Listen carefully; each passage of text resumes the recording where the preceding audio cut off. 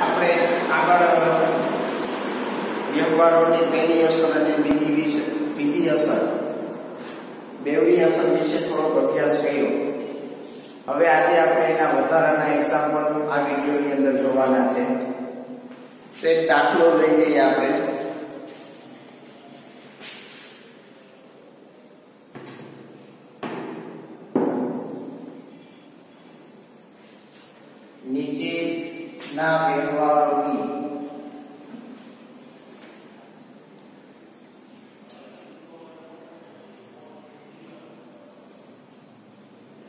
બેવડી અસર સમજાવો અથવા દર્શાવો આ એક્ઝામ્પલની અંદર આપણે વ્યવહારોની બેવડી અસર વિશે અભ્યાસ કરવાનો છે એક એક વ્યવહાર લેતા જશું અને એની પહેલી અસર અને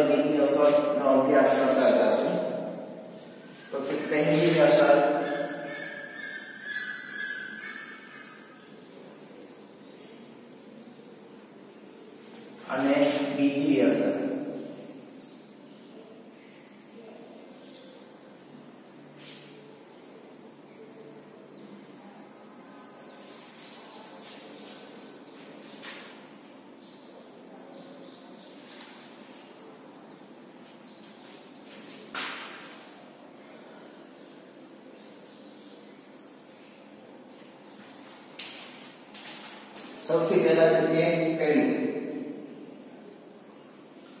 તો કે રૂપિયા પંદર હજાર પંદર હજાર મૂડી તરીકે રોકડા લાવ્યા પંદર હજાર મૂડી તરીકે રોકડા લાવ્યા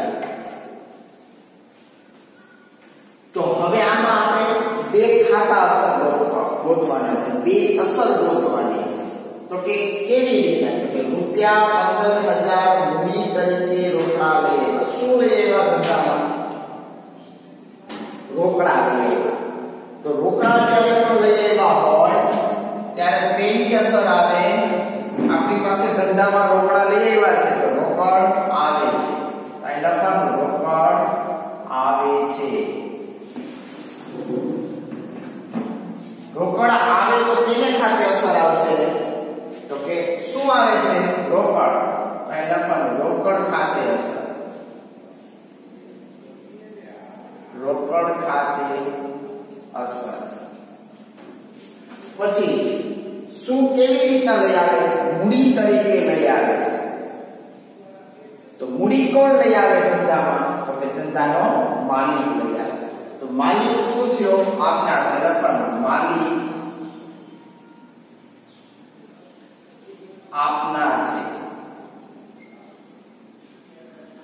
આની પહેલા પણ મેં કીધું હતું માલિક જ્યારે પણ આપનાર હોય ત્યારે હંમેશા મૂડી ખાતે અસર આવે અહીં લખવાનું મૂડી ખાતે અસર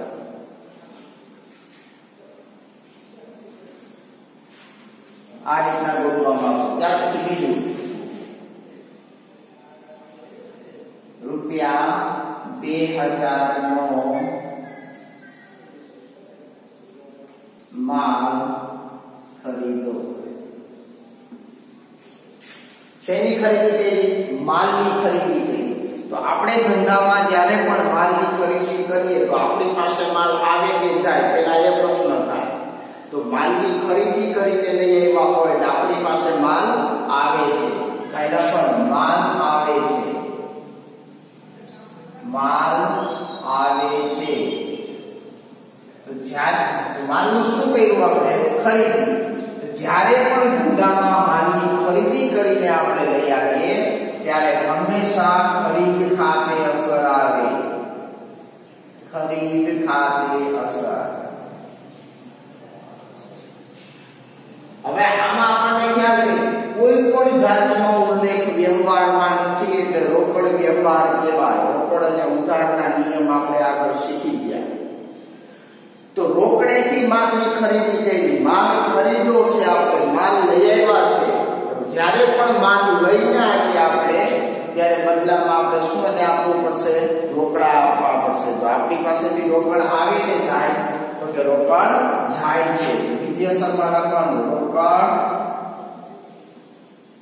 જાય છે તો જ્યારે પણ રોકડ જાય ધંધામાંથી તો કેને ખાતે અસર આવશે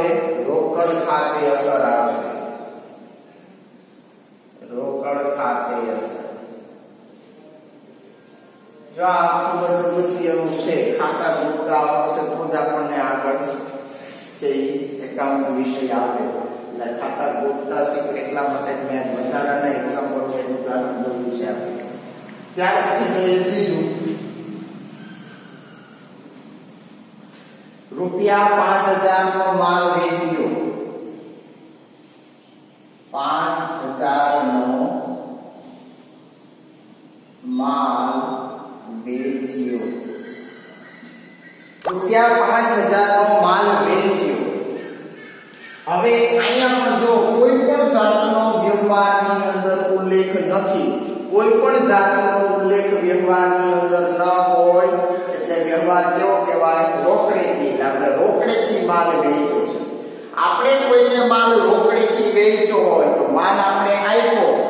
બદલામાં એની પાસેથી આપણને શું મળ્યું હોય? તો કે રોકડ મળી હોય. તો આપણી પાસે રોકડ આવે કે જાય તો કે રોકડ આવે છે લાઈન લખવાનું રોકડ આવે છે રોકડ આવે છે તો જ્યારે પણ ધંધામાં રોકડ આવે એટલે હંમેશા કેને ખાતે અસર આવે તો કે રોકડ ખાતે અસર જે વસ્તુ આપણે કહી હોય એને ખાતે અસર આવે હવે માલનું આપણે શું કહ્યું છે વેચાણ કર્યું છે. માલ વેચો છે આપણે, તો માલ આપણી પાસે આવે કે જાય? તો કે માલ જાય છે. એટલે પણ માલ જાય છે. તો જ્યારે પણ ધંધામાંથી માલ જાય માલ માલનું આપણે શું કહ્યું હોય? વેચાણ. તો જ્યારે પણ માલનું વેચાણ કર્યું હોય, ત્યારે વેચાણ ખાતે અસર આવે વેચાણ ખાતે અસર ત્યાર પછી ચોથું એક્ઝામ્પલ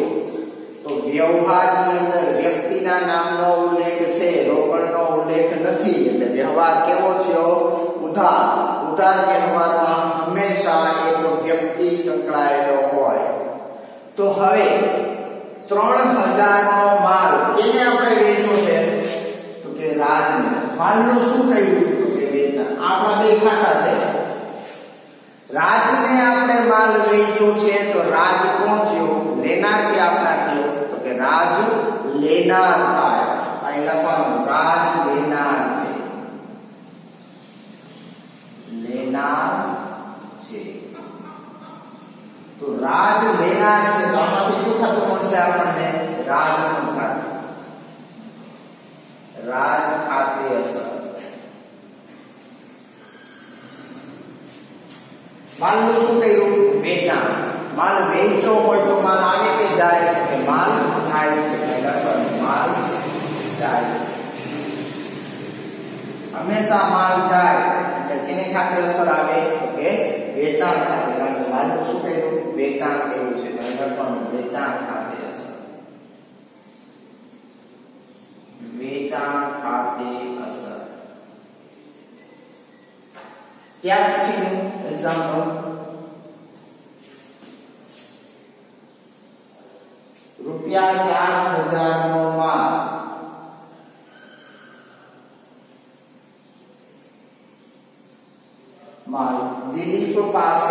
પાસેથી તો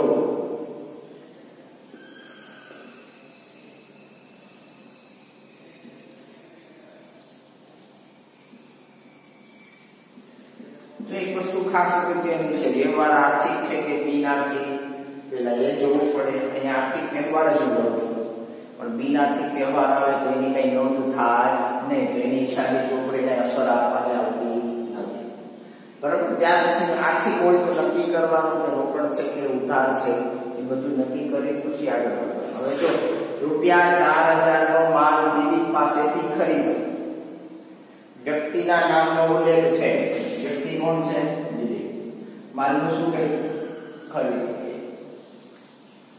તો જે વ્યવહારમાં રોકડ શબ્દનો ઉલ્લેખ ન હોય, વ્યક્તિનું નામ આપેલું હોય, એ વ્યવહારને કેવું કહેવાય? ઉધાર. ઉધાર વ્યવહારમાં હંમેશા એક ખાતું વ્યક્તિનું આવે તો હવે માલનું આપણે શું કહ્યું છે ખરીદી માલની ખરીદી થઈ હોય તો આપણી પાસે માલ આવે કે જાય તો કે માલ આવે છે લખવાનું માલ આવે છે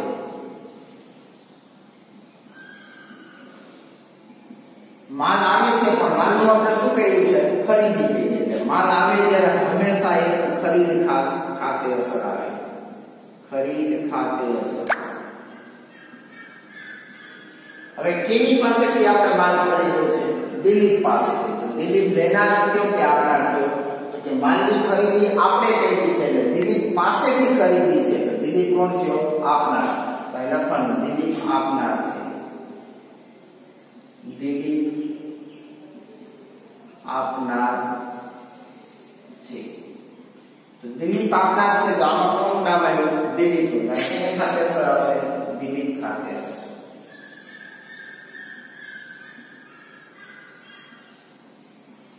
દિલીપ ખાતે અસર ત્યાર પછી જોઈએ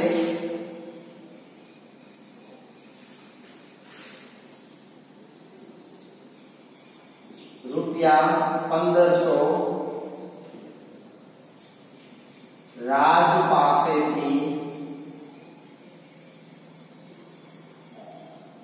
મળ્યા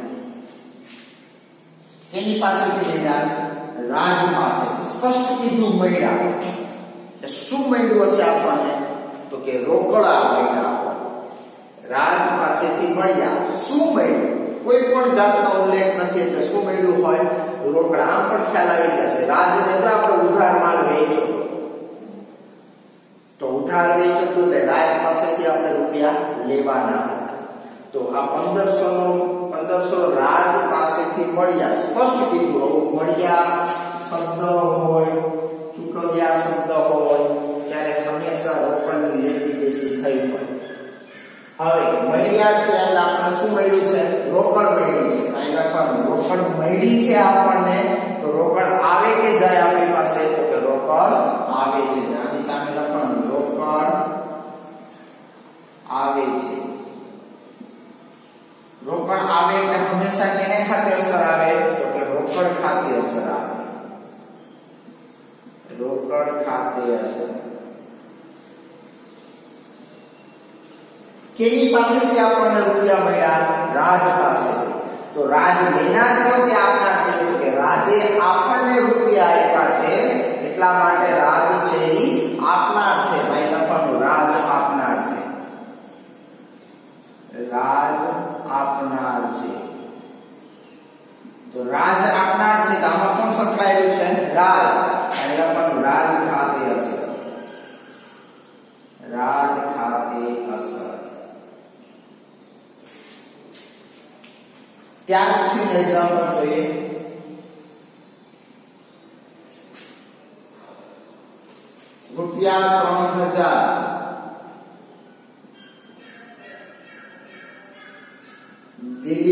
દિલીપને ચૂકવ્યા. કેને આપણે ચૂકવ્યા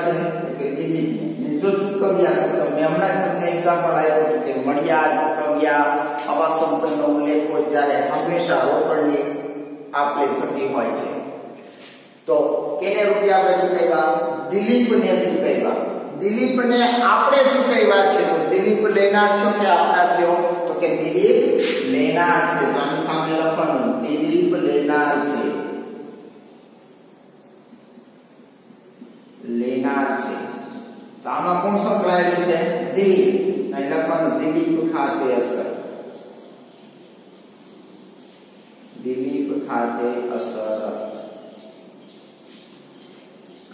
સ્પષ્ટ કીધું ચૂકવ્યા શું આપ્યું છે આપણે દિલીપને તો કે રોકડા આપ્યા તો આપણી પાસે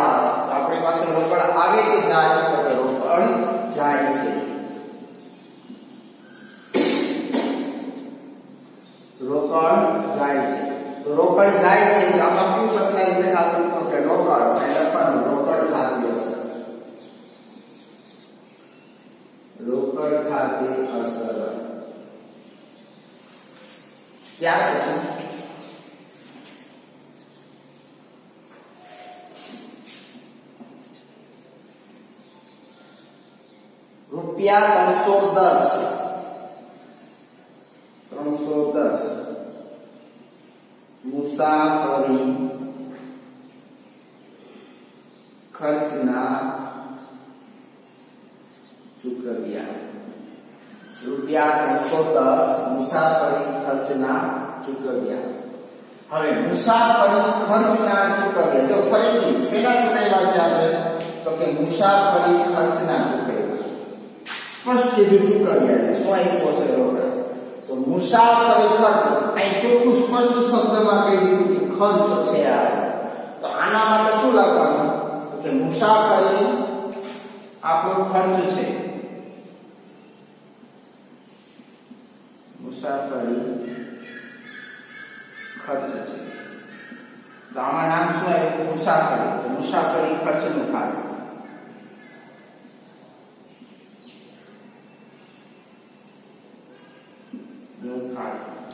સ્પષ્ટ કીધું ચૂકાયું છે તો શું આપ્યું હશે આપણે રોકડા આપ્યા છે રોકડા આવે કે જાય તો કે જાય છે તો એટલે પણ રોકડ જાય છે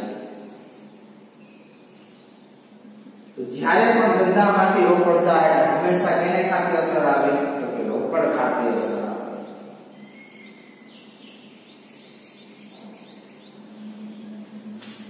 ત્યાર પછી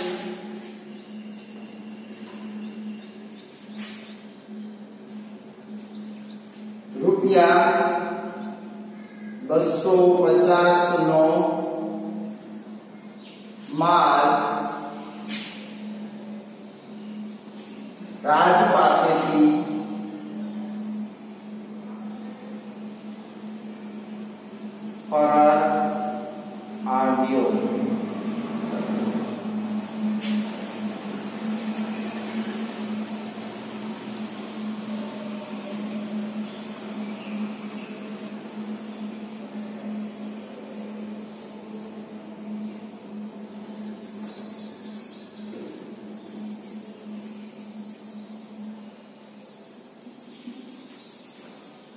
પાસેથી માલ પરત આવ્યો છે રાજ પાસે માલ પરત આવ્યો હવે રાજ પાસેથી માલ પરત આવ્યો તો રાજને આપણે ગમે ત્યાં તો આગળ વેચાણ કર્યું હશે હાલ. કોઈને આપણે વેચાણ કર્યું હોય ને તો જ એની પાસેથી આપણને માલ પરત આવી શકે બાકી માલ એની પાસેથી પરત આવી શકે નહીં તો રાજ પાસેથી માલ ત્યારે પણ પરત આવ્યો છે વેચેલો માલ તેને કહેવાય વેચાણ પરત કહેવાય તો વેચેલો માલ પરત આવે છે અહીં લખવાનું વેચેલ માલ પરત આવે છે વેચેલ માલ પરત આવે છે તો કયો માલ પરત આવ્યો વેચેલ માલ પરત અહીં આવશે વેચાણ માલ પરતનું ખાતું કેની પાસેથી માલ પરત આવ્યો રાજ પાસેથી પરત આવ્યો છે તો રાજ લેનાર છે કે આપનાર તો કે રાજે આપણને પરત કર્યો એટલે રાજ આપનાર છે એટલે લખવાનું રાજ આપનાર છે રાજ આપનાર છે આમાં કોણ સંકળાયેલું છે રાજ એટલે લખવાનું રાજ ખાતે હશે ત્યાર પછી છેલ્લું એક્ઝામ્પલ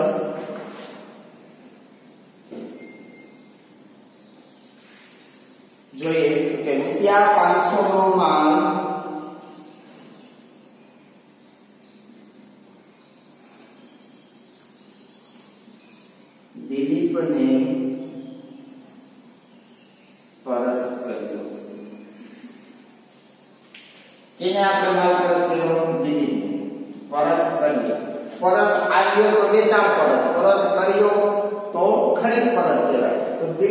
દિલીપને જો આપણે એ દિલીપ પાસેથી ક્યાંક ખરીદી હશે ચાર હજારનો માલ દિલીપ પાસેથી ખરીદ્યો તો દિલીપને આપણે પરત કર્યો તો દિલીપ કોણ થયો લેનાર થયો અહીં લખવાનું દિલીપ લેનાર છે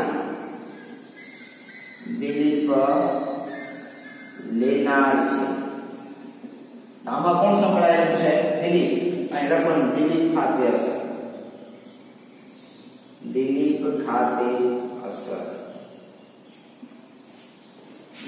માલ પરત કર્યો છે આપણે. તો ખરીદેલો માલ પરત કર્યો એટલે લખણ ખરીદેલ માલ. ખરીદેલ માલ પરત કર્યો. વેચેલો માલ પરત કરો તો વેચાણ પરત ખાતું આવે. ખરીદેલો માલ પરત કરો એટલે કહેવાય ખરીદ પરત. એટલે અહીં